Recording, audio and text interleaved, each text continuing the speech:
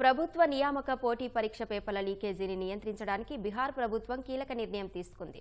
పోటీ పరీక్షల్లో జరిగే అవకతవకలను అడ్డుకట్ట వేయడానికి బీహార్ పబ్లిక్ ఎగ్జామినేషన్ బిల్లును తీసుకువచ్చింది. బీహార్ శాసనసభలో అసెంబ్లీ వ్యవహారాల మంత్రి విజయ్ కుమార్ చౌదరి ఈ బిల్లును ప్రవేశపెట్టారు. అయితే ప్రతిపక్షాలు సభ నుంచి వాకౌట్ చేయగా మూజువాని ఓటుతో బిల్లుకు ఆమోదం లభించింది.